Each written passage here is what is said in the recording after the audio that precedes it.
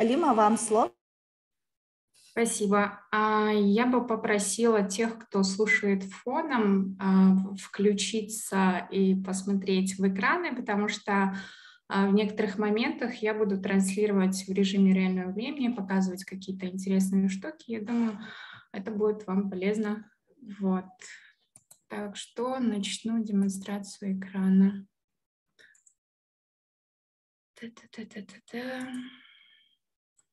Угу. Круто, мы видим экран. Хорошо, сейчас я пытаюсь убрать вот эту штуку. А,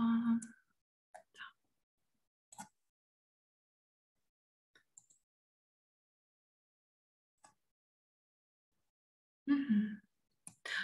А, прошу прощения, да, секунду.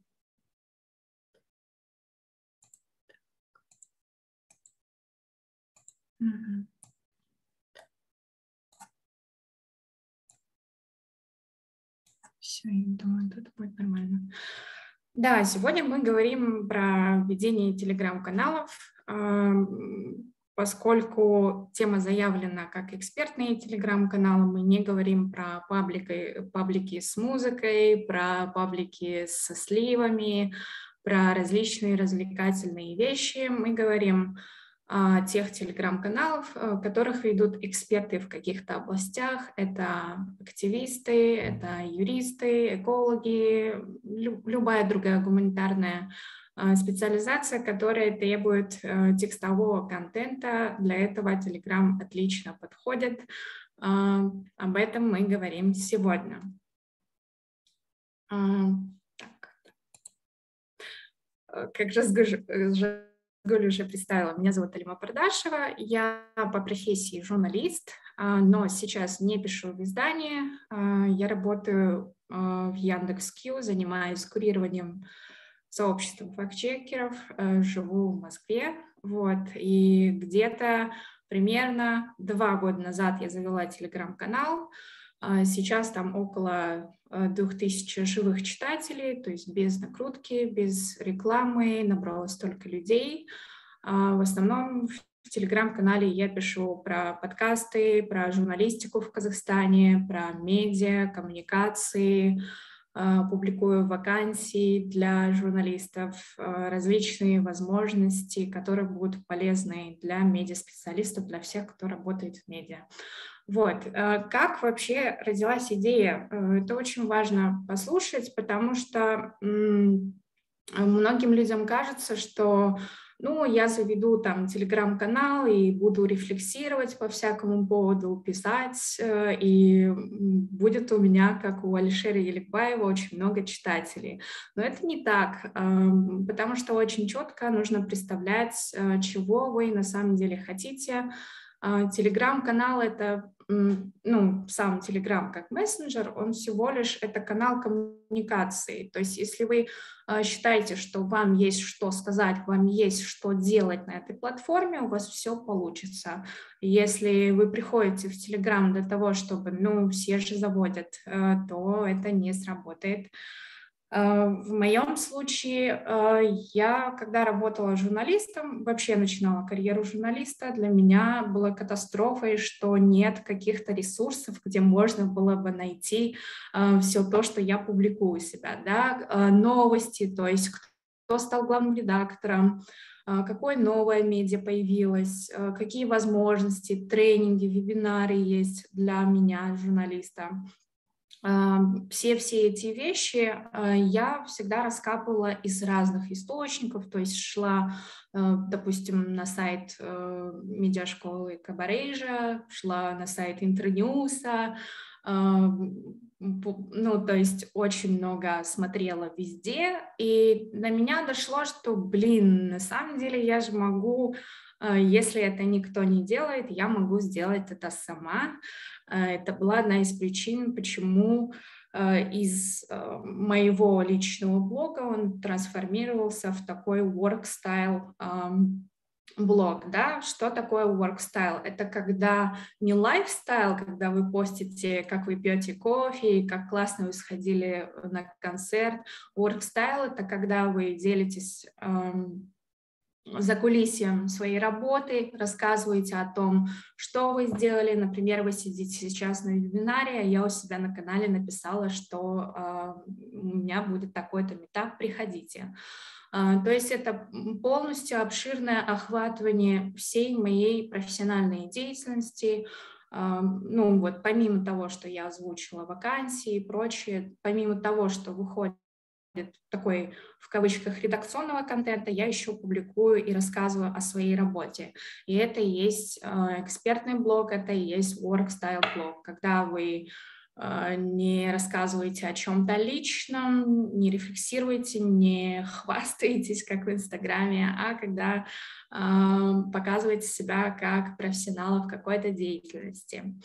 Вот. А, ну и одна из главных причин, почему я заводила телеграм-канал, потому что я сам по себе человек а, такой трудоголик, я очень много работала, а, соответственно, у меня было очень много статей, которых я писала, да, примерно 4 года моей жизни э, в карьере я очень много писала авторских статей, очень много делала интервью, и мне нужно было как-то их кому-то показывать. Вот мне хотелось, чтобы их э, мои коллеги по цеху оценили, прочитали и вообще знали, что вот у меня есть какое-то портфолио, да, где я публикую э, все, чем я занимаюсь. То есть иногда я даже с друзьями шутила, что мой телеграм-канал — это такой совокупность филиалов всех проектов, которыми я занимаюсь. И это, ну, это правда. То есть э, все, чем я занимаюсь по работе, все это публикуется в телеграм-канал. Э, вот это две основные э, задачи, да, и две основные причины, по которым я завела телеграм-канал. А, как на слайде можете прочитать, эм, на удивление у меня не было каких-то э, завышенных ожиданий, что будет какое-то энное количество подписчиков, что меня будут э, такие классные люди читать, да, как Айсана Шимка, как Джахар Утибеков, как, э, не знаю, международные российские фактчекеры, очень много классных людей, и это было хорошим знаком того, что я проделала хорошую работу, и у вас тоже получится. Э, и как это сделать, я расскажу на следующих слайдах. Вот. Если говорить про то, чем Telegram отличается от э, других социальных сетей и от других мессенджеров, э, первое, это самое главное, что в Телеграме нет алгоритмов продвижения. Что это значит? Это значит, что вы платите всегда деньги Фейсбуку, Инстаграму для того, чтобы делать платные сторис, платные посты, запускать таргет и как-либо продвигать свои свои посты, да, э, свой контент. А, и это стоит денег. А, и не всегда а, не всегда понятно, как вообще социальные сети устроены, потому что они всегда трансформируются, всегда меняются в режиме реального времени, всегда выходят какие-то новые требования, по которым ваш э, контент рекомендуется для читателей, да, попадает в интересное, если это Инстаграм. Ничего такого э, в Телеграме нет, и это очень классно, потому что э, весь охват, который вы получаете, все можно получить честным, так скажем, способом. Ну и, конечно, платная реклама в Телеграме тоже есть, но об этом поговорим потом. То есть нет э, алгоритмов э, ранжирования контента, нет алгоритмов, нет способов продвижения таких, таких затратных, как э, в других социальных сетях. Э, я знаю, вот Марина Шарипова, моя подруга, она э, как-то рассказывала, что а, охваты очень падают, если это Инстаграм, да, и не всегда понятно, а, как попасть э, в, в цель, вот. А, с этим проблем в Телеграме нет. Все, что вы пишете, все, что вы публикуете, все выходит хронологически. Да. А, иногда бывает, что на Фейсбуке вы можете встречать посты а, годичной давности просто потому, что кто-то прокомментировал этот пост, хотя он не актуальный и так далее. Но такого, э, такого хаоса в Телеграме нет, он очень понятный и приятный, если говорить про интерфейс. Вот. А второе, это скорее можно отнести к минусу Телеграма, но и к плюсу тоже можно отнести. Сейчас объясню, почему. А, контент не, индексируется поисковиками. Что это значит? Это значит, что если я, допустим, если у меня есть э, какой-то сайт, да, какой-то блог на Medium, в Яндекс.Дзене или где-нибудь какой-нибудь блог, и я напишу, типа, заголовок там будет и статья «Как продвигать телеграм-каналы», то эм, поисковик проиндексирует этот контент. Э, в Телеграме не всегда так. Эм, ну, это просто данность, э, которую нужно учитывать. А, то есть Telegram эм, немножко закрытый эм, закрытая площадка в том плане, что все продвижение, наиболее эффективное продвижение происходит именно внутри Телеграма. Да, вы можете э, брать э, трафик, да, приносить трафик из других социальных сетей, какие-то внешние вещи, но все-таки э, вся вот эта жизнь, движуха все-таки происходит внутри Телеграма. Это не так, что, не знаю, у вас какая какой-то пост в Яндекс.Дзене выстрелил и дал 100 тысяч просмотров просто потому, что люди начали по ключевым словам это гуглить, но такого в Телеграме, увы, нет. Но может и это хорошо, хорошо для тех людей, для которых важна анонимность, например, для активистов, для которых важна безопасность э, их контента, и, э, ну, с другой стороны, есть минусы, то, что очень много анонимных телеграм-каналов есть, которые публикуют зачастую пропаганду или манипуляцию. Это плохо, так не нужно делать, э, вот. И третье, э, самое лучшее, что есть в Телеграме, это, конечно, текстовой редактор, потому что в том же Инстаграме вы не можете в пост вшить ссылку, которую вы хотите, да, вам приходится либо идти э, в сторис, и, и то, если у вас больше э, какие-то хорошие охваты, больше 10 тысяч, если не ошибаюсь, подписчиков, только тогда вы можете прикрепить ссылку в сторис, а, вы можете в описании профиля вшить, но в самом посте нет. В Фейсбуке та же беда. Если даже ты можешь в пост э, поставить ссылку, но это будет просто такая строка, не оформленная под слово. Да, в этом плане очень классно, то, что не имея большое количество подписчиков, у вас уже есть инструменты оформление постов, да, вы можете а, поставить курсивом, вы можете классно как-то оформить, добавить фотографии, добавить реакции к вашим постам. А, я не знаю, очень большие возможности у текстового редактора. Я не знаю, никакая другая социальная сеть пока что не дает таких такой хорошей почвой для создания текстового контента, как Telegram, потому что в любом случае Instagram — это про визуал, а, Facebook — это про срачи, извините, вот, а Telegram — это такая э, спокойная, классная аудитория и очень хорошая платформа для создания э, блога, экспертного блога. А, ну и мне кажется, интуитивно понятно, что Telegram — это про прогрессивную аудиторию, да, а, потому что если это человек, там, условно говоря, 50 плюс, вряд ли он знает про Telegram, или даже если знает, вряд ли он пользуется, вряд ли он читает Telegram-каналы. Эм, то есть э, аудитория совокупная самого мессенджера, оно состоит из э, жителей городов, у которых, скорее всего, хороший интернет и которые немножечко ближе к сфере digital, да, и поэтому, если вы контентщик, Telegram — это вообще для вас, конечно же. Идем дальше. Перед тем, если у вас нет телеграм-канала, самое первое, что нужно сделать, неважно для чего вы его создаете, а, для организации, ну, для организации, если это СМИ, понятно для чего, да, для того, чтобы э, список э, каналов дистрибуции расширилось.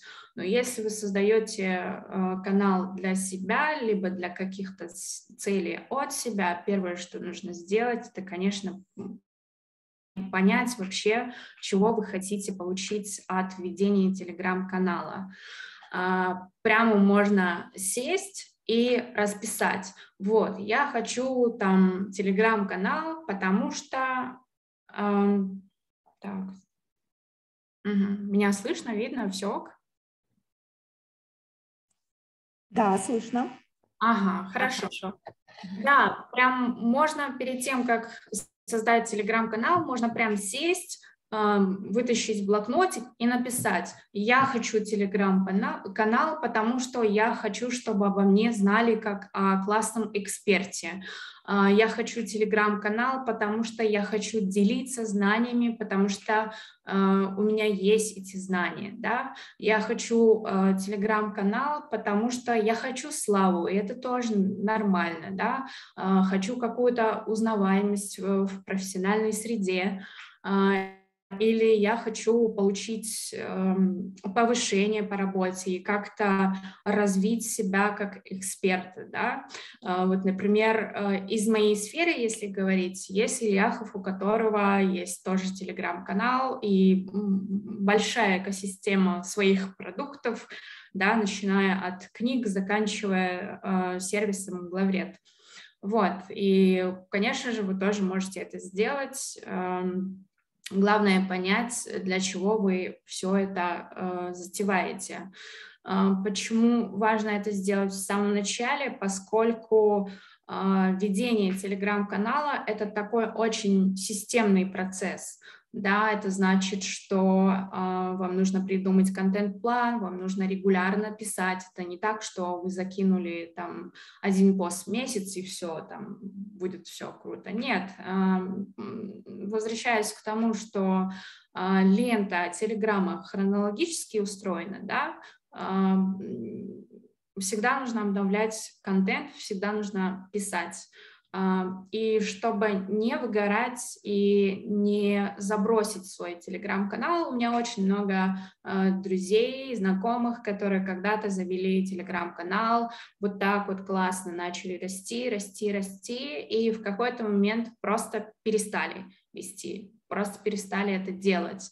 Uh, очень много заброшенных телеграм-каналов. Тот же Джохар Тибеков, у него есть телеграм-канал на 11 тысяч Э, читателей, казалось бы, огромная аудитория, да, но человек перестал этим заниматься. Эм, я не знаю причин, но для того, чтобы предотвратить такой момент, да, и может вообще вам не нужен телеграм-канал, может вам нужен сайт, может вам нужен, э, я не знаю, может вам нужна другая платформа, другой канал коммуникации, и телеграм вам не подходит. И пока вы все это не распишете, эм, вы не поймете, как дальше вам двигаться.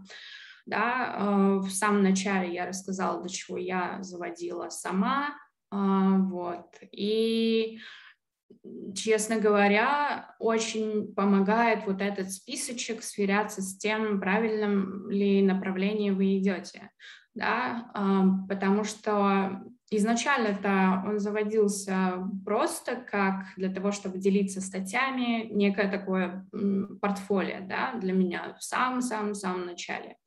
Вот. Это потом я додумала, что вот, никто не делает канал про медиа, я буду это делать. Вот. Да, э, этот список как-то помогает, э, не знаю, с течением времени а, проанализировать, достигли вы э, того, чего хотели. Потому что в моем случае я получила намного, намного, намного, намного больше, чем я ожидала. Потому что э, вот ожидания у меня были вот такие, а вот то, что я получила, это было вот такое.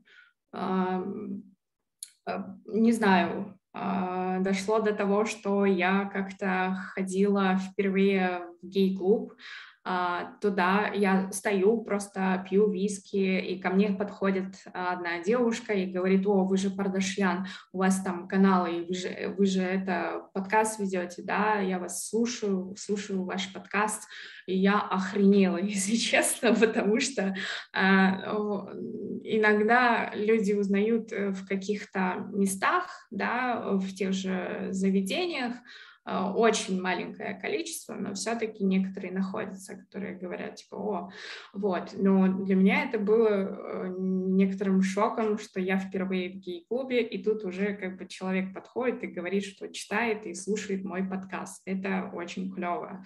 Да, и вторая, вторая история, которую я могу вспомнить, это когда эм, полтора года назад я искала работу, эм, но не хотела делать это через телеграм-канал, я пошла в Хейтхантер, как и все люди. Вот, когда я пошла в Хейтхантер, меня как бы предварительно пригласили на собеседование, по Zoom, и этот человек, а, это был стартап, им нужен был специалист по коммуникациям, и вот этот стартапер говорит, о, вы же вот это, это же, я же вас читаю, господи, давайте, какое нахрен собеседование, давайте все работать, э, давайте оформляться, и это было классно. То есть эм, такие вещи тоже нужно учесть, все-все-все э, моменты, которые вы хотите получить, да, потому что Telegram это не только про деньги, да, когда у вас будет э, достаточно много, хорошая репутация, во-первых, и потом достаточно много количества э, читателей, которых вы можете монетизировать и монетизировать себя как спикера, как эксперта, ну и вот такие вот э, а, приятные вещи могут случиться с вами. Вот, и круто, если вы сможете расписать э, все, что вы хотите от э, своего такого некого проекта. Вот.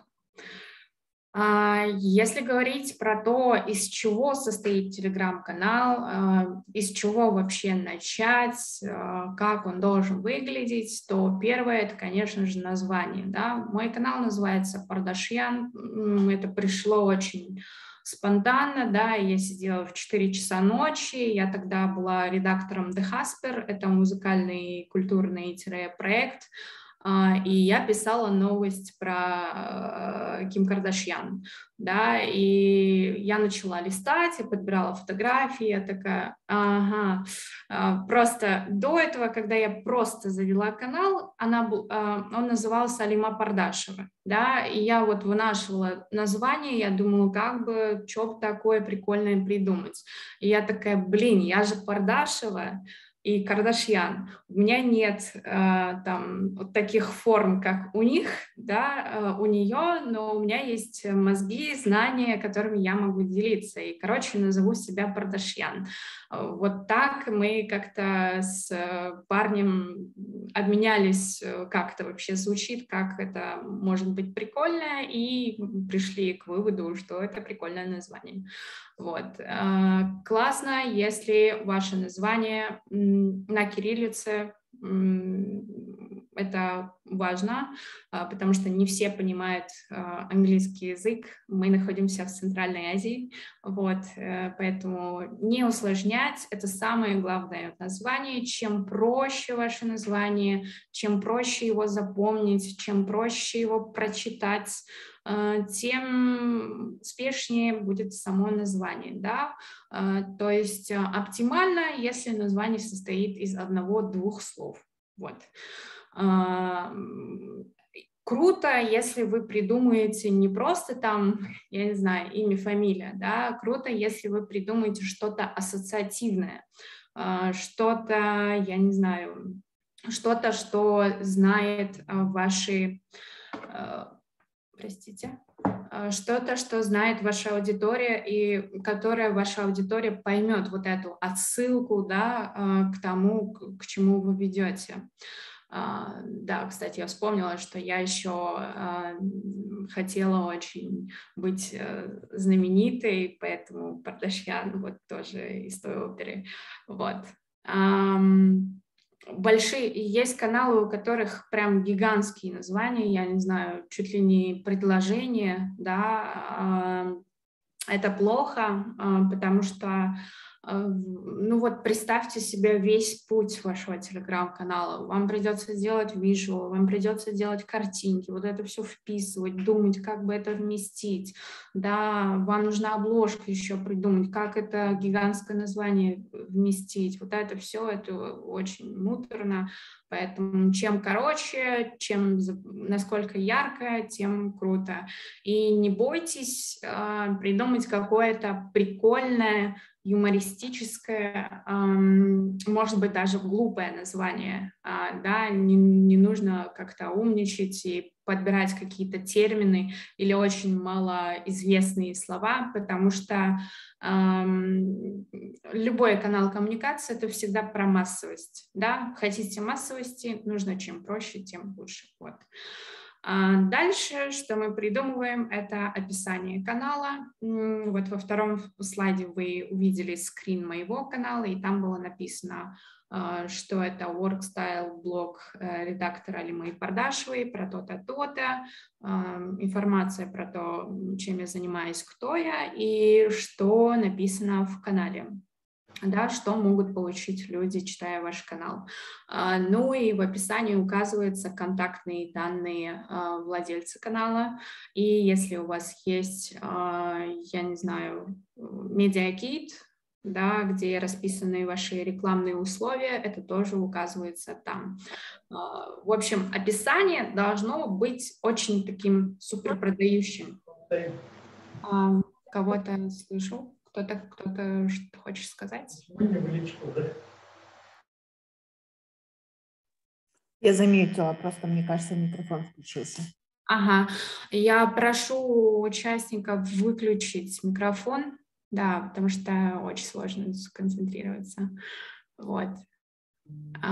Описание. Описание должно всегда вот продавать. Вот не бойтесь, не а, отбросьте весь свой синдром самозванца и напишите, какой вы охрененный человек, какой охрененный у вас блог. А, мне еще очень нравится мемчик, там пишут, что ты должен, ну, классно, если ты работаешь в таком месте, э, озвучивая которое, людям кажется, что ты въебываешься. Э, вот, да, то есть если вы работаете в каких-то классных местах, это обязательно нужно указать, да, если вы пишете для каких-то крутых изданий, работаете на международные корпорации, это все круто, это всегда продает. А, да, если у вас будет выбор между двумя каналами, где один редактор просто фрилансит и второй редактор, который работает в Яндексе, вы, конечно же, подпишетесь на того, кто работает в Яндексе. Это просто эм, человеческая психология так работает. В общем, в описании нужно продавать, в описании нужно э, объяснять, о чем ваш канал, очень коротко, максимально коротко, а, и в описании нужно оставить контакты для того, чтобы даже если у вас 200 подписчиков, все равно контакты нужно оставить, потому что мне, например, приходит очень-очень много всяких разных предложений, да, кто-то хочет рекламу, кто-то хочет, чтобы я что-то, какое-то мероприятие провела, я не знаю, кто-то хочет, чтобы я кому-то текст отредактировала, презентацию сделала, то есть, оставляя контакт, вы э, даете понять, что вы открыты к сотрудничеству, к диалогу, к критике, к отзывам и к прочему. прочему. Вот. Обложка. В обложке, если это телеграм-канал организации, я не знаю, компании, СМИ, какого-то проекта, соответственно, вы заказываете э, вашему графическому дизайнеру обложку в вашем стиле, в стиле вашего бренда. Да, мне кажется, это понятно. А если это э, ваш личный блог, да, очень круто поставить э, портретную фотографию, где хорошо видно вашего лица. Э, желательно, чтобы фотография была не позже годичной давности, да, чтобы она была свежая и подходила тому возрасту, в котором вы сейчас находитесь. Вот. А, что еще в фотографии? Желательно, чтобы нежелательно, а обязательно, чтобы на фотографии вы не были в солнцезащитных очках, да, чем лучше видно ваше, вашего черт лица, тем лучше, а, поскольку так вас запоминает, ваше лицо запоминает ваши читатели, соответственно. Вот. А, ну и хорошее качество, это уже как бы по умолчанию. Да, простите, можно я промочу горло?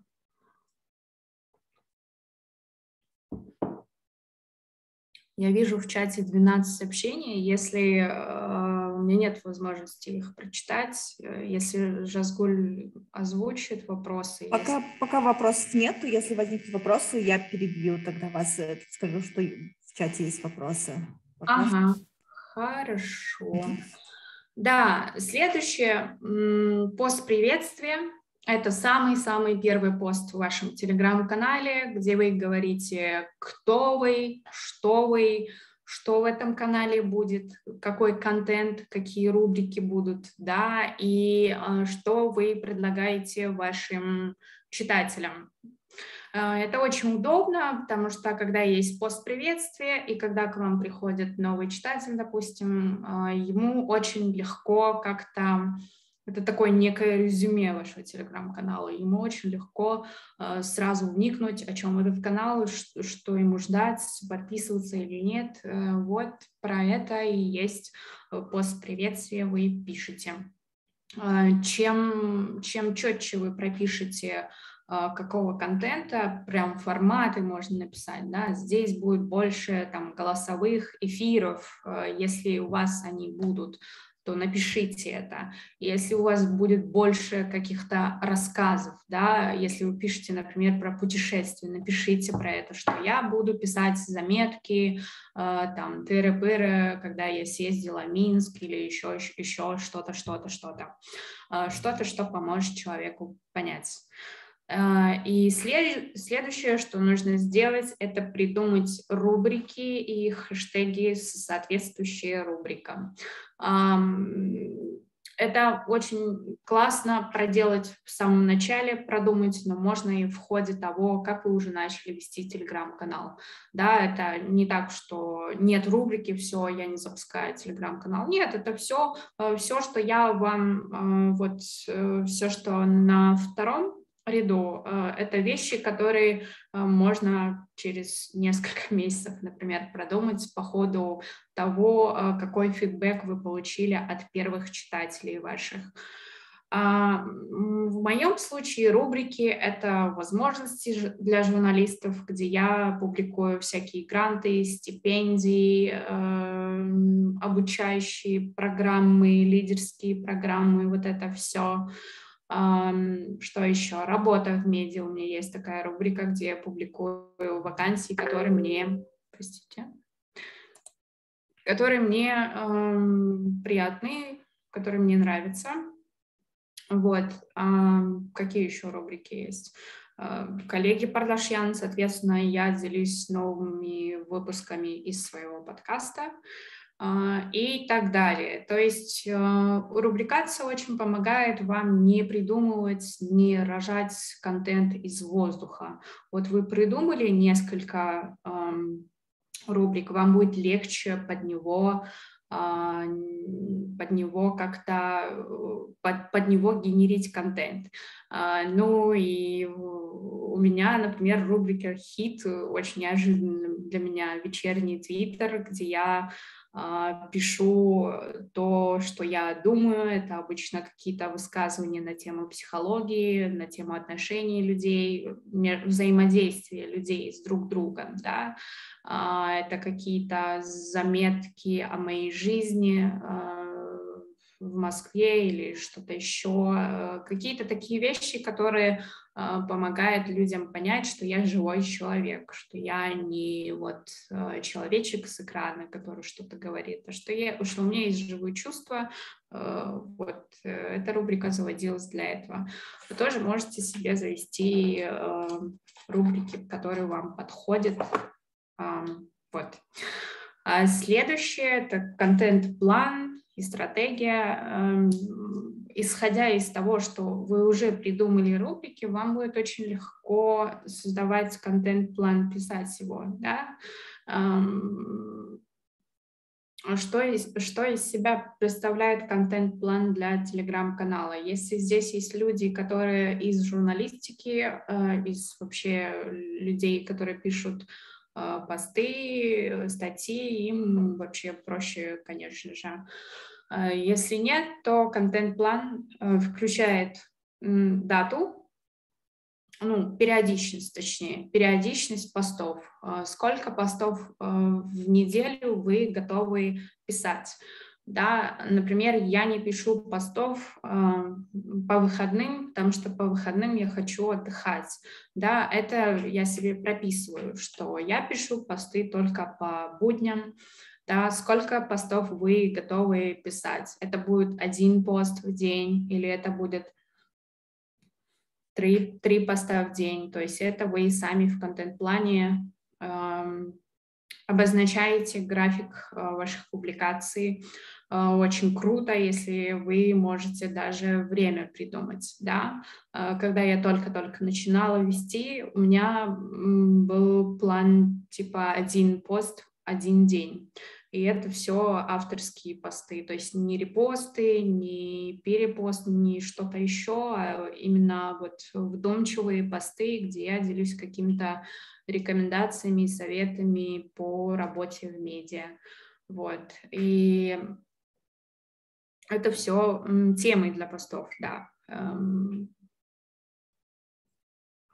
Эм, если у вас еще нет телеграм-канала, будет полезно хотя бы на один месяц сделать себе контент-план, хотя бы такой драфтовый черновик, э, зато э, не будет ситуации, в которой вы думаете, блин, а что сегодня написать?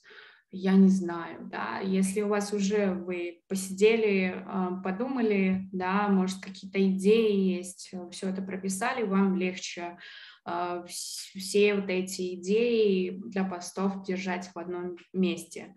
А, ну, я даже как-то завела закрытый телеграм-канал, где я использую его для себя. А, я туда пишу идеи для постов, типа вот у меня что-то произошло, я думаю, ага, будет классно написать там про нюансы удаленной работы, да, и а, я это вписываю и, соответственно, заношу в контент-план. Вот. Есть посложнее вещи, это стратегия вашего телеграм-канала, где вы полностью прописываете, как вы будете продвигать э, свой контент, как вы вообще будете развиваться. Об этом мы поговорим в следующих слайдах. Вот. Очень важная вещь, которая отличает Telegram от других соцсетей, то, что, например, когда вы в Инстаграме и в Фейсбуке репостите чужие посты, а, ну, как бы охват идет вам все-таки, да, то есть вы получаете лайки, а, вы получаете комментарии, вы получаете все-все-все. А, в Телеграме не совсем так да, все-таки тот, кто первым запостил, кто автор контента, тот и получает наибольшее количество охвата. А, это значит, что нужно делать вообще минимум репостов, потому что а, от репостов вам хоть и идут просмотры, но все-таки а, эти просмотры засчитываются не только вам, но и создателю, автору этого поста. Да? А, если вы хотите а, чтобы шерили именно ваш контент, чтобы больше охватов все-таки было у вас, э, то нужно постараться не делать репосты или минимизировать их как-то. В моем случае это соотношение там, наверное, 70 на 30, да, 70% авторского контента, 30% репостов. А, да и в целом, поскольку мы говорим про авторские телеграм-каналы, про экспертные телеграм-каналы, зачем вам спамить репостами, это бессмысленно. Да, он например, на своем ощущении, когда я захожу в, э, в какой-нибудь телеграм-канал и вижу, что автор э, очень много репостит и очень мало авторских каких-то постов, я думаю, блин, ну, то есть это неинтересно, э, все-таки интереснее почитать э, ваши посты, увидеть ваш контент, э, Особенно в самом начале, первые полгода, я бы вообще исключила репосты и делала только авторский контент, чтобы весь охват э, притягивал ваш телеграм-канал. Вот. А, ну и главное, как продвигать. Вот э, вы знаете, что нужно сделать перед созданием, вы знаете, что какую домашнюю работу нужно проделать перед тем, как создать телеграм-канал, и переходим к продвижению. А, если у вас уже есть эм, подписчики в других социальных сетях, да, например, если вы уже раскрутили блог э, в Инстаграме, если вы раскрутились где-то еще, э, то, конечно же, вы можете э, делать сторизы про свой телеграм-канал, рассказывать, анонсировать его как-то или вообще завлекать, типа, вот, я сегодня написал какой-то пост, переходите по ссылке поскорее, там, Мурашев, например, так делает, да, а, разные еще блогеры, да, а, то есть если у вас есть другие раскрученные социальные сети, а, продвигайте, начните продвижение оттуда, вот. Функциональная возможность есть пригласить в Telegram около 200 первых читателей – это можно сделать, прям из списка своих контактов можно пригласить человека вступить в ваше сообщество, и он вступает туда автоматически. Но здесь есть нюанс, то что на моем примере, чисто как я чувствую, когда меня подписывают в какой-то канал, я думаю, да какого черта, я не хочу вообще читать твой канал, что за вообще, как будто вас заставили, там, не спросили, то есть, э, если вы спросите предварительного человека, можно ли я тебя подпишу, или просто в личку написать, подпишись, вот у меня есть такой-то канал, э, это гораздо лучше работает, чем вы насильно человека подпишете, чисто потому что есть такая функциональная возможность. Вот. А для меня самое главное, что сработало, это взаимные пиары, немножко предыстории, что я не покупаю платную рекламу практически никогда. А, это не то, что какая-то моя принципиальная позиция, просто я э, жмот, и я не хочу тратить деньги на это. Вот. Но если вам не жалко, конечно же, можно покупать рекламу в других телеграм-каналах. Вот. Но я прожмотилась, поэтому практически я все продвигала через взаимные пиары.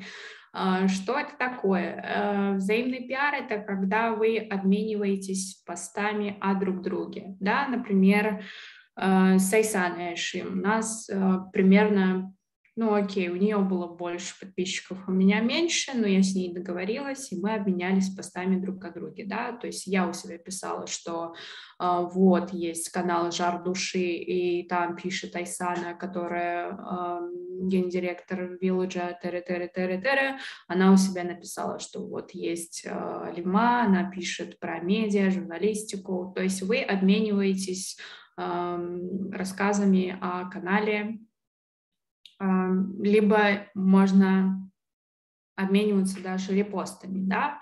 А, у меня был такой опыт с Мариной Шариповой, которая ведет телеграм-канал «Пиши Мари Шери». Вот, э, то есть мы просто говорили, типа, вот, я сегодня репостну из твоего канала вот этот, а ты, пожалуйста, репостни это, я думаю, для твоего канала подойдет. Да, то есть вы можете изначально список промо составить из своих знакомых. А, вообще не бойтесь просить вот как-то не, не очевидно, кажется, что э, не используют, многие авторы телеграм-каналов не используют возможности своих знакомых. Да? Я думаю, что даже в вашем окружении найдется как минимум, ну не знаю, два-три человека, которые, у, которые либо администратор телеграм-канала, либо ведет свой авторский телеграм-канал. И вы всегда можете обращаться к этим людям за взаимным пиаром. Я так и делала, да, то есть поскольку я из сферы медиа, у меня очень много друзей, у которых есть свои телеграм-каналы я просто приходила к ним в личку и говорила, слушай, там, я не знаю, Алина, э, давай сделаем взаимный пиар, э, от меня к тебе придет подписчики, э, я от тебя получу, и такой вин-вин вариант. Вот. В следующих слайдах я покажу пример, как вообще договариваться про взаимный пиар и как все это находить. Вот. Следующий способ продвижения – это запуск конкурсов. А, в моем случае это было розыгрыш чек-листов а, с возможностями для журналистов – один из условий а, как бы получения этого чек-листа было подписаться на мой телеграм-канал. Я делала эту активность совместно с другим телеграм-каналом Гранский Z. Возможно, кто-то знает. А, это телеграм-канал бывших моих друзей. Да, и я их просто попросила поддержать меня и совместно сделать такой а, такую активность, да, то есть один из условий получения было подписаться, это тоже вариант, то есть вы можете разыгрывать, коллабиться с другими каналами, а, который, возможно, имеет побольше охвата, побольше читателей, чем у вас. Это не страшно. Вообще никогда не думайте, что, блин, там у человека 10 тысяч подписчиков, он там не поможет или не захочет со мной коллабиться. Если вы делаете классный контент, если вы э, классный специалист, то всегда можно договориться обо всем, что угодно хватило только фантазии придумывать эти активности. Да, вы можете разыгрывать, я не знаю, книги, все что угодно можно придумать и главным условием поставить, э, сказать, что нужно подписаться. Эм, вот. А, ну и самое главное это создавать хороший, качественный, полезный контент, который будет шериться. Да, эм, в моем случае я Э, достаточно много таких бесплатных читателей получила из-за того, что я публиковала э, посты подборки с э, грантами, стипендиями для журналистов. И эти гранты, стипендии у себя репостили другие большие телеграм-каналы с возможностями, да, они просто видели, что я делаю хороший контент, это, ну, как бы, это не какой-то неряшливый пост, где ссылки не работают или есть орфографические ошибки, то есть они видят, что, ну, хороший контент, и там, где у них э, слот в контенте, они могут это репостнуть сами по себе или по договору, как получится, да, и это классно, то, что э, вам приходит приходит, эм, приходят читатели и приходит охват. Эм, очень круто, в Телеграме залетают э, вообще полезные подборки, полезные советы, какие-то лайфхаки, да, э, я не знаю, вообще любые вещи, которые могут быть полезными для человека.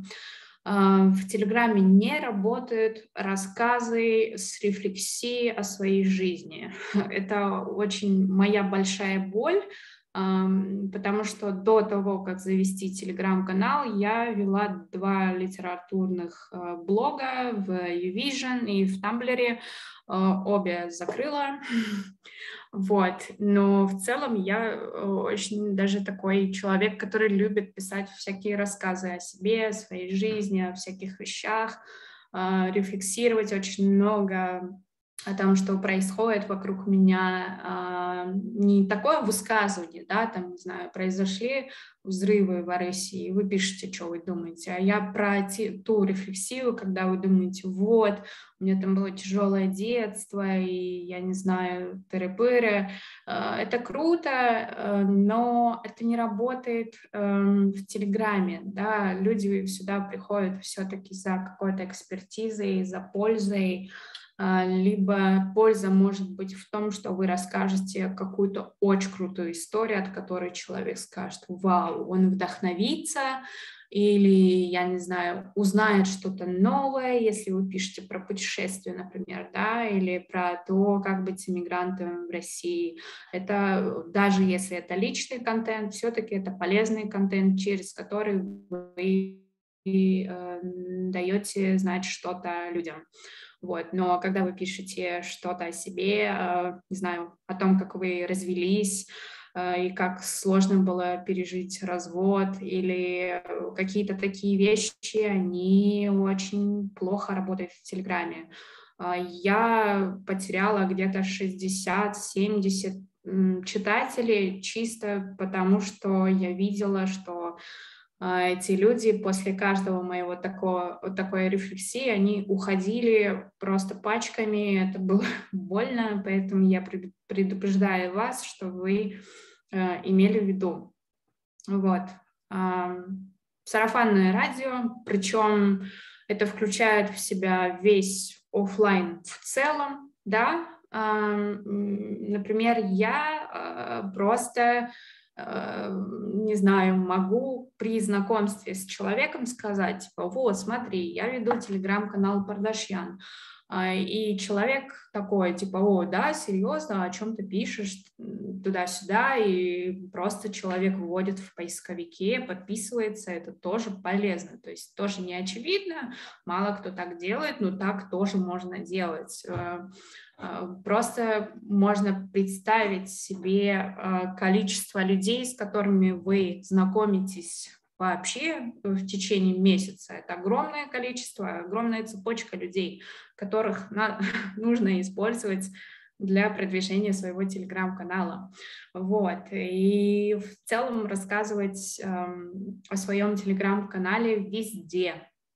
Да, если вы выступаете эм, с какой-то лекцией, э, с каким-то вебинаром, расскажите, что у вас есть телеграм-канал. Эм, я не знаю, если вы выступаете офлайн, там можно вообще сгенерить QR-коды, куда человек может вот так направить телефон и сразу подписаться. То есть э, офлайн возможностей тоже очень много. А, ну и было такое, что как-то как-то в один день подписались 11 человек – и я не понимала, откуда они взялись, потому что ну, моя статистика говорила, что никто меня не репостнул, никто обо мне ничего не написал. И я не понимала, откуда эти люди взялись, да. Тогда потом, мне потом коллега рассказал, что он выступил на каком-то вебинаре и э, в конце порекомендовал, э, порекомендовал а, блоги и телеграм-каналы, которые будут полезны редакторам, журналистам. И вот он порекомендовал, получается, мой телеграм-канал, и так люди подписались. Такое тоже бывает. Эм, нужно учитывать все-все-все возможности для продвижения своего канала. Вот. А, ну, последнее, ну, конечно, всегда можно купить а, рекламу в Телеграм-канале. Вы просто а, составляете список, я не знаю, каналов, которые вам подходят по контенту, да, видите, что аудитория нормально воспримет рекламу о вас, вы просто идете, находите в описании профиля контакт человека. Зачастую а, у больших телеграм-каналов да, у них уже есть медиакит, и, э, скорее всего, он уже прописан в описании, можно ознакомиться с ценами, с условиями размещения и просто купить, договориться, написать пост о себе. Это тоже как бы большой источник трафика.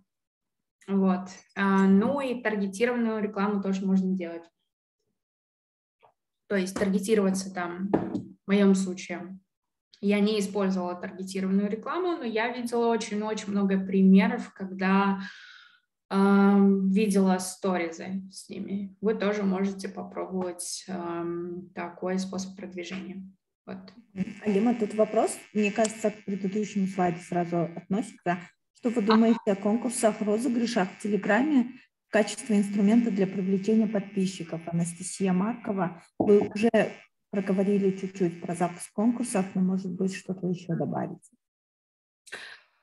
А, можно еще раз вопрос прочитать, пожалуйста? Что вы думаете о конкурсах э, слэш-розыгрышах в Телеграме как инструмента для привлечения подписчиков? А, хорошо, но хорошо, если они в меру, да, то есть если вы каждый месяц запускаете конкурсы, ну, аудитория подумает, ну, типа, классно, да, дарят подарки, что-то еще, но на примере Инстаграма, когда мы видим очень много эм, гивов, всяких конкурсов, то это немножко снижает доверие э, и впоследствии вашу репутацию. Э, лучше делать это в меру, очень редко, но метко, вот. Но в целом если говорить, сравнивать с другими платформами, да, э, все-таки от конкурсов в Телеграме приходит наиболее качественная аудитория, чем э, в том же Фейсбуке и Инстаграме, да, э, поэтому чем детальнее вы продумаете все вот эти пути вашего читателя, да, чем грамотнее вы продумаете, что это будет и как вы будете мотивировать э, человека, э, то тем лучше. Э, то есть, поскольку аудитория Телеграма — это такие прогрессивные, умные, интеллигентные люди, э, классно, если вы придумаете э, что-нибудь такое э, не банальное, да. Э, например, я запускала конкурс на отзыв о своем подкасте. Там по условиям человеку нужно было написать отзыв не просто э, в социальных сетях, ему нужно было пойти в подкаст-платформы и оставить там отзыв, э, то есть там написать. И среди них я выбрала троих победителей, которые, каждый из которых получил книгу э, «Ясно, понятно». Я очень люблю эту книгу, и как бы и аудитории подходил этот подарок, да, и относительно новая книга, поэтому это сработало, я думаю. То есть э, работает, да, но в меру и очень вдумчиво подходить к условиям конкурса. Спасибо большое. Ксения просит повторить еще раз про что такое таргет-реклама в Инстаграме так как в это время у нее интернет завис. Если можно очень кратко повторить, чтобы... А, да, если кратко, например, когда вы листаете сторизы в Инстаграме, а, то выходят рекламные посты с пометкой «реклама». Это и есть а, таргетированная реклама. Вот. Он запускается через э, личный кабинет э, в Фейсбуке, настраиваете, платите деньги, запускаете рекламные объявления, это все делается там, э, поскольку Инстаграм и Фейсбук э, это одно юридическое лицо. Спасибо. Тут есть еще вопросы, но я предлагаю вам пару слайдов, у вас осталось еще э, рассказать, и потом перейти к вопросам, потому что они требуют, ну, в целом интересные вопросы. Хорошо. А, ну и важная мысль, системность и списки наше все, потому что, эм, например, как получает охват в Инстаграме, да, А, кто-то сжег попиты, э, попыты, извините, такие игрушки цветные и получил невероятно большой охват в Инстаграме, да, там тысячи комментариев, э, тысячи репостов, просто нереальное количество охвата, э, то есть такой хайп, и столько человек подписалось, невероятное количество людей подписалось на этого недоблогера, и это работает. К сожалению, это работает в Инстаграме, это работает в Фейсбуке, но я хорошая черта Телеграма в том, что здесь хайповать ну, не получится, а, потому что здесь другая аудитория. А, поэтому нужно не пытаться э, как-то кичиться яркими постами, да, то есть не нужно стараться какие-то хайповые вещи делать, нужно стараться делать классный, полезный, качественный контент, но всегда, то есть каждый день, то есть системно работать, системно наращивать количество подписчиков, системно развивать свой канал, то есть это вас спасет. А, это вот как бы следуйте контент-плану, следуйте вашему графику и сверяйтесь с тем, что вы написали вот в самом начале, да, чего я хочу. Дальше, как развивать? Ну, здесь уже немножко короче.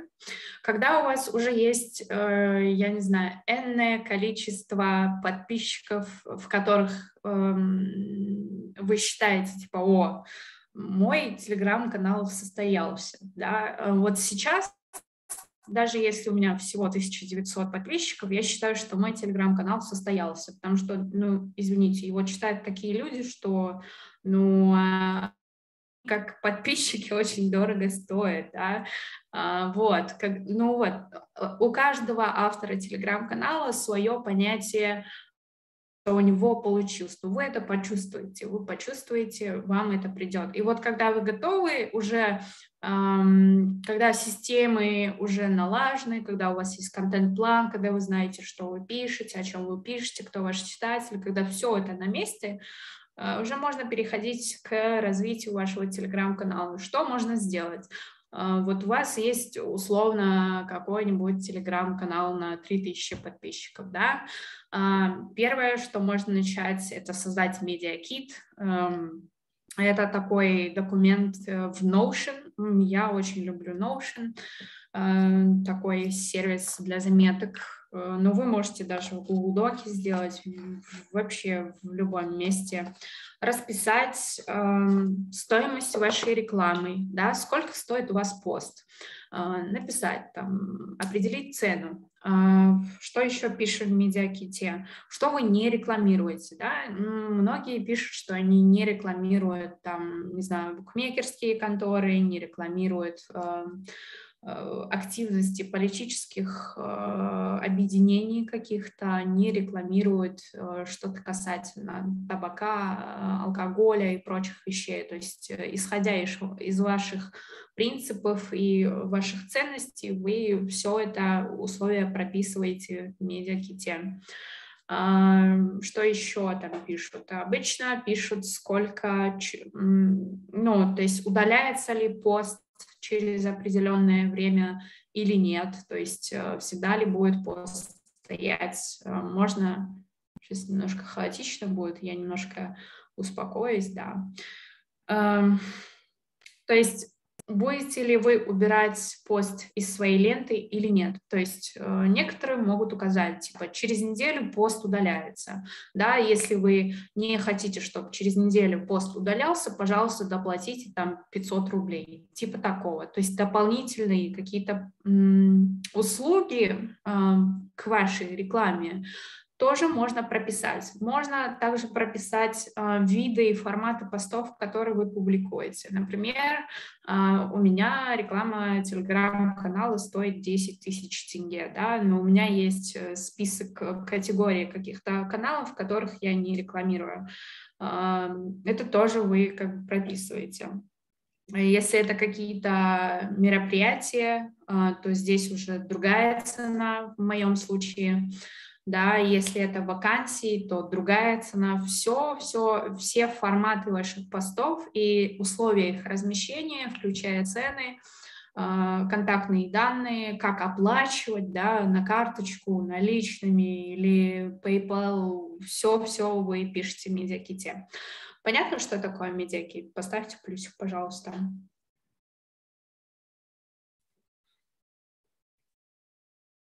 Угу. Угу. Так.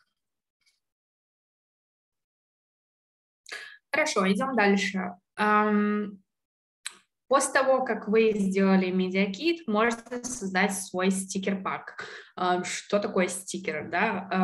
Вы все, наверное, пользуетесь стикерами, да, то есть какие-то отправляете э, в личных переписках но э, такой стикер-пак можно создать и от, от эм, имени своего канала. Да? А сейчас, например, э, к, к юбилею своего телеграм-канала я готовлю свой стикер-пак, где будут различные прикольные слова из журналистики. Да?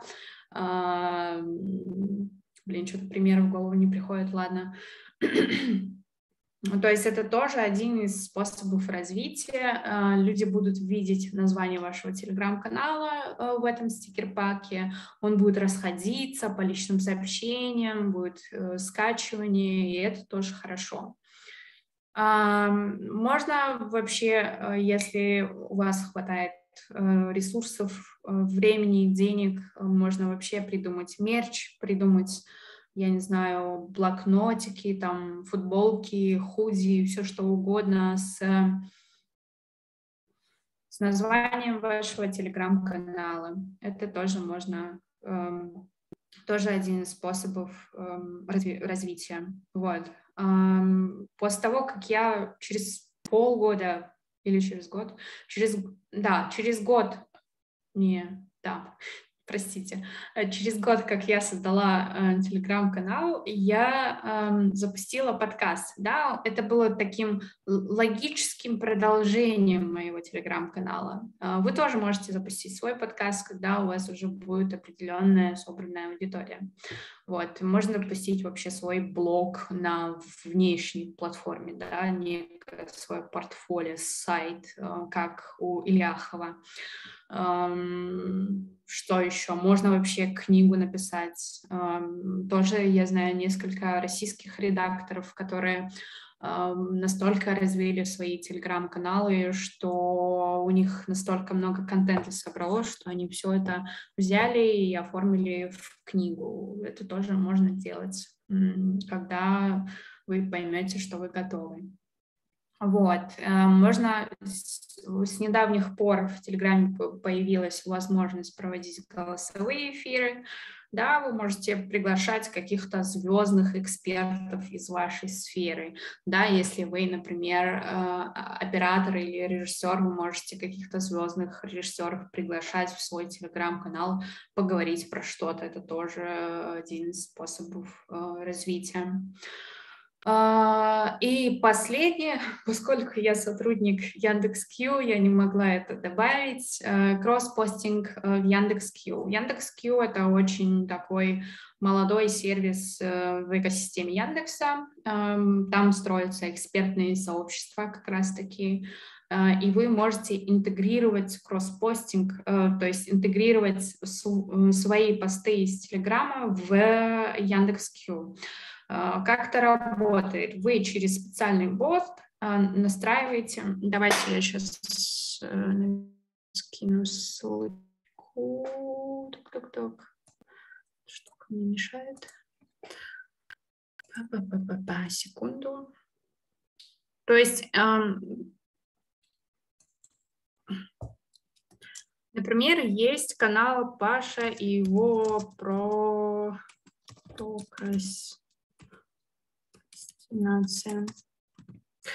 Ваша его прокрастинация. Знаете такой канал? Есть такой телеграм-канал. А, вот. И Паша настроил себе кросспостинг в Яндекс.Кью через бот специальный.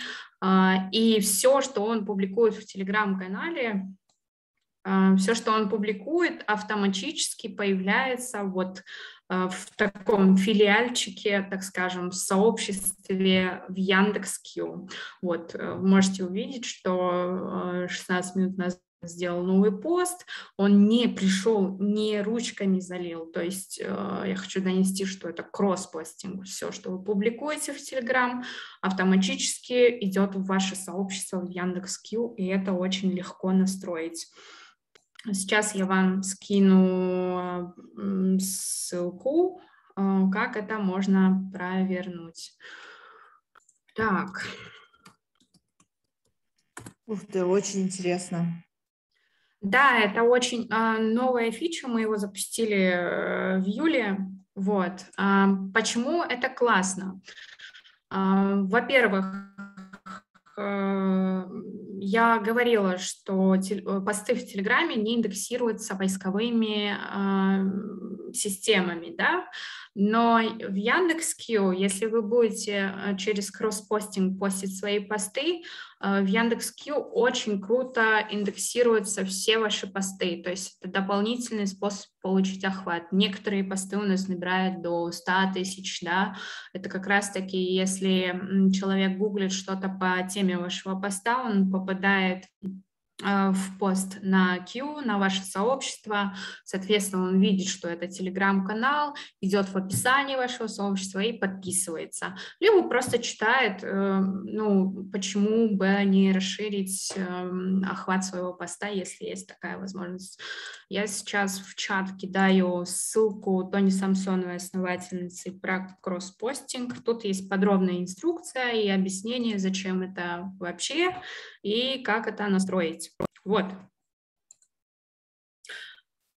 Так, так, так.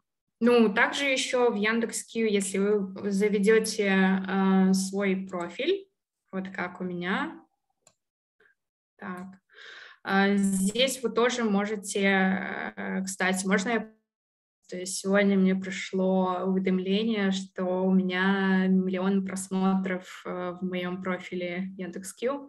Вот, то есть э, все, все, что я делаю в Яндекс.Кью, все эти мои посты, а, соответственно, люди на меня подписываются и тоже видят ссылку на мой профиль. Плюс, когда вы отвечаете на вопросы в Яндекс.Кью, в конце выходит такая подпись, как бы его показать, сейчас.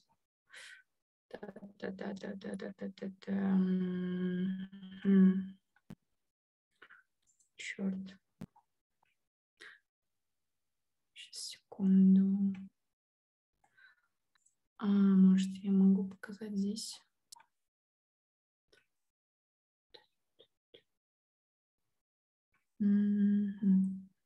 Нет, не могу. Но суть в том, что когда вы отвечаете на вопросы в Q, а, в конце вашего ответа выходит ссылка на ваш, ваш телеграм-канал, конечно, если вы его поставите. Это все можно настроить в настройках профиля и прописать себе, типа, я не знаю, у меня написано вот захожу в информацию. У меня есть такая подпись. Приходите почитать мой телеграм-канал о медиа и коммуникациях. И тут ссылка. То есть всякий раз, когда я отвечаю на какой-либо вопрос по моей теме в Яндекс.Кью, люди видят под этим ответом э, ссылку на мой телеграм-канал и призыв приступить, э, подписаться. С этим, надеюсь, все понятно. Так, Идем, идем, идем дальше. Угу. Кросспостинг, все. А, и очень коротко покажу, покажу, покажу, как это выглядит. Взаимный пиар, я рассказывала про это. А, когда я обращаюсь к человеку за взаимным пиаром, я просто представляюсь, вот пример есть на экране, если кто слушает фоном, посмотрите. Вот, я говорю, что здравствуйте, меня зовут Алима Пардашева, я журналист ТР-ТР-ТР, я веду телеграм-канал про то-то, про то-то, про то-то. Хочу предложить вам сделать взаимный пиар. да, и я еще прописываю, сколько человек в среднем, да, приходит от меня, чтобы человек имел представление, а, какую выгоду он получит от а, сотрудничества со мной. Вот. А, и еще я прописываю, что, например, текст о моем канале уже готов. Если вы согласны, присылайте свой свой текст о своем канале, и мы назначим время. Да? Когда вы делаете взаимный пиар, очень важно не делать, не запускать оба поста в один день. То есть, если, грубо говоря, если я делаю взаимный пиар с Айсаной, пусть Айсана делает в среду, а я про нее пишу в четверг. Вот. Надеюсь, так понятно. Ну и во втором, как бы, пример поста о моем канале такой некий рекламный пост, где я пишу, что это за канал, а, ну, информацию о, э, об авторе, да, что я журналист, э, что я веду подкаст коллеги Пардашьян. И третий абзац про то, что, что ждет читателя от этого канала. И в конце Э, call to action в виде ссылки рекомендуем подписаться. Да, то есть текст о своем канале вы пишете сами и присылаете человеку, который согласился сделать с вами взаимный пиар. Если это если коротко. Вот. Но я думаю, Жазгуль поделится ссылкой на вот эту презентацию. Можете как бы на примере тоже э, попробовать написать свои письма и э, текст о своем канале. Да, обязательно я поделюсь э, презентацией, плюс еще заметочки сделаю, как обычно. И, э, в принципе, я думаю, вы можете даже делиться в чате нашего сообщества Алима по мере возможностей, ну и плюс все другие наши коллеги, участники сообщества будем комментировать, э, если хотите, да, э, что нам понятно, чего нам не хватило. То есть вы можете использовать чат э, в качестве такой э, претеста да, вашего описания, я не знаю, названия и так далее. Вот, мы можем переходить к вопросам. Да, я закончила. Если у вас есть вопросы, вы можете прийти ко мне в Телеграм написать. У меня ник А. Пардашева. Э, я есть в Инстаграме, я есть в Фейсбуке. Добавляйтесь, давайте дружить. Ну и подписывайтесь на мой Телеграм-канал, если вы еще не. Обязательно. Ну, ваш телеграм-канал, в принципе, даже в моих рекомендациях, в чек-листах, вот для преподавателей вузов есть всегда. А, вот э, Юля задала интересный вопрос. Она спрашивает, портит ли визуально а, посты на канале, да, пометка изменено, вот, когда мы редачим посты? Нет. Нет. ну, то есть я вообще вечерний твиттер я пишу просто как акын у меня вот так вот льется водой, да, все мысли. И я допускаю ошибки, изменяю, это ничего страшного как бы нет. В принципе, я тоже не замечала, что я прям сильно на это внимание обращаю. Интересно послушать, как вы обращаете ли на это внимание или, или нет. Другой вопрос. Даниар спрашивает, э, можно ли озвучить пару советов о развитии экспертности. Если вкратце, да, это чуть-чуть, э, конечно, не ага. прям про Телеграм, но тем не менее вы про это затронули. Да, эм, делать сложную работу ответственно. Вот. Э, то есть э, мне всего 23, но э, как бы я нахожусь здесь и занимаюсь тем, чем занимаюсь, мне кажется, просто потому что я никогда не была довольна той работой, которую я получала. Э, то есть я всегда просила больше работы и старалась сдать это вовремя и сделать это круче, намного круче.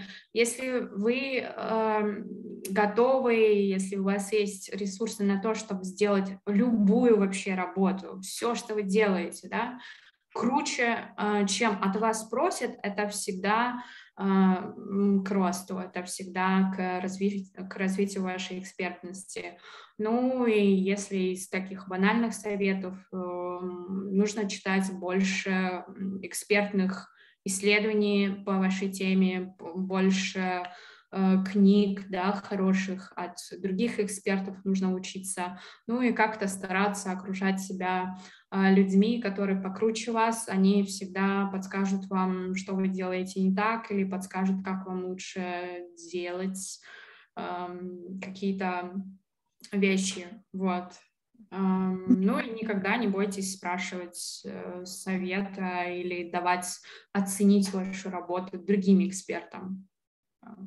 Как-то так. Спасибо большое. Э, Наризат спрашивает, можете показать, как добавить комментарии под публикации, э, ну, как открыть для своей аудитории. Да, а у меня был вопрос вот про чат. Вообще обязательно ли подключать чаты к каналу, да? На каком этапе их лучше подключать? И э, можете ли вы, я не знаю, продемонстрировать, наверное, экран, вкратце показать? Да, где-то, где-то год, ой, я не знаю, я с, э, комментарии к своему телеграм-каналу подключила очень-очень недавно. А, чисто потому, что я не была готова, у меня не было времени, чтобы отвечать на эти комментарии, да, не нужно подключать комментарии, чтобы просто были комментарии, всегда нужно на все э, входящие отвечать, э, так вы э, взращиваете лояльную аудиторию, да, Поэтому, если вы готовы на них отвечать, и если вы готовы получать какашки в вашу сторону, если будут какие-то хейтеры, пожалуйста, можно это сделать. Сделать это очень просто. Вам нужно завести, сейчас давайте покажу. Видно или нет? Не видно, да? Еще, еще не видно, да. Сейчас вот, э, пожалуйста, скриншеринг. Ага, вот, смотрите, а, для того, чтобы у вас появились комментарии, вам нужно завести чат. А, то есть вы выбираете новая группа, называете его там болталка, например. Да, и добавляете людей. Можно себя добавить. Я обычно так делаю. Вот. Создали группу. Вот. А, идете в свой телеграм-канал. И в настройках проходите в настройки, добавляете, вот, надеюсь, видно. Да, да, да, когда вы скажем. нажимаете на, после того, как вы создали группу и нажимаете на Edit Channel, то вот во втором есть discussion, обсуждение, и вы можете туда а, добавить тот сам, ту самую группу, которую вы создали. И ну, как бы у вас высветится штука, а, подтвердить вы подтверждаете, и все. Как бы а, вот мой, моя группа, мой чат, который я создала, и все, все комментарии, которые мне пишут люди, приходят вот сюда. По сути, это обычный такой же чат, эм, чат-группа, как и все остальные, которые создаются. Вы просто прикручиваете это через настройки своего канала. Понятно объяснила? Угу. Нуризат, пожалуйста, дайте знать, э, все ли понятно. Если что, мы потом можем скрины, в принципе, снять, и я попробую тоже скинуть э, в группу. У нас есть вопрос, давайте уточним вот для Ксении. Она, оказывается, имела в виду, что такое таргет в Телеграме. Мне кажется, таргета в Телеграме... А, таргета в Телеграме нет, я имела в виду э, через Инстаграм и Фейсбук. Ну, то есть можно создавать э, какой-нибудь сторис, сделать, написать, э, здесь собирается, э, в этом телеграм-канале э, собирается тусовка экологов, там, и ссылка. Mm-hmm. И вот это запустить на таргетированную рекламу в сторис, например. И так тоже можно получать охват из Инстаграма. Вот. Спасибо. Саулия спрашивает, как вы успеваете, если ассистент? Вообще, как быть с этим? Uh, у меня был ассистент где-то три месяца в прошлом году, uh, но она сейчас устроилась в Choco Family, у нее все классно и, и без меня, вот.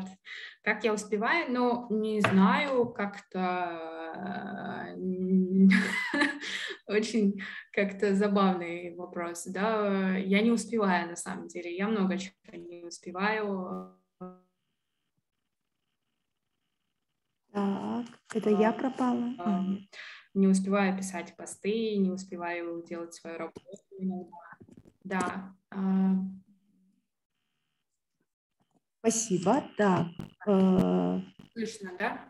Угу. А, слышно. Скажите, пожалуйста. Э... А, да, что нужен хороший тайм-менеджмент, просто записывать и заносить в календарь все, что у вас есть. А, ну, типа, вот сегодня вебинар, ставлю э, на вчера, что мне нужно сделать презентацию, ставлю на сегодня напоминание, что у меня выступления. Если это пост, если это рекламные посты, я тоже их заношу в календарь и говорю, что, ну, пишу, что в такой-то день выходит такой-то рекламный канал. Не знаю, просто вопрос тайм-менеджмента и вопрос приоритетов.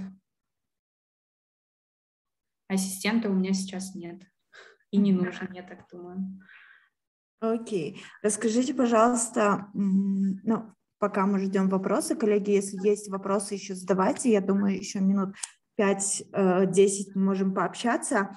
Э, у меня эм, был вопрос по длине сообщений. Есть ли рекомендованная длина сообщений? В целом, чем короче, тем же лучше, но чаще, например, в телеграм-каналах, которые я читаю, всегда такие очень длинные сообщения. Если у вас рекомендации, опыт, как? Но я всегда руководствуюсь э, принципом, что всегда короче это лучше.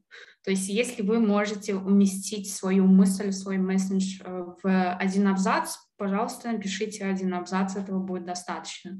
Но если вы чувствуете, что э, то, что вы пишете, да, ваши слова, ваши предложения важно и интересно, то не имеет значения, какой там объем. То есть кому будет интересно, эм, если это действительно ценная информация, не просто там просто не текста для того, чтобы просто написать много, да, а когда действительно каждая единица текста в виде слов и абзацев имеет ценность, тогда его будут читать, сколько бы вы много не писали. Просто нужно понимать и адекватно оценивать а, ну, то есть, когда я монтирую подкаст, э, тот же подход, могу ли я, если я выкину это слово, это предложение или этот абзац, не потеряется ли, э, ли нить повествования, да, не потеряется ли смысл, вообще это важно ли это знать человеку, да, если я чувствую, что нет, это не важно и нить не потеряется, то все,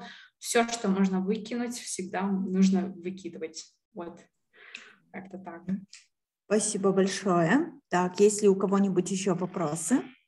Ну и всегда можно же варьировать, то есть э, можно один пост сделать коротким, один пост э, большим, один, ну, то есть варьировать. Э, Не так, что у вас выходят там гигантские посты, каждый пост, то есть можно э, варьировать вообще с фотографиями, да, какой-то пост с фотографией, какой-то без. А, в Телеграме вообще есть опросы, можно проводить, да, перед тем, как вы, например, перед тем, как выступить, я бы могла спросить через опрос, есть ли у вас Телеграм-каналы, да, или ведете ли вы Телеграм-каналы. Ну, то есть разные форматы, их можно использовать.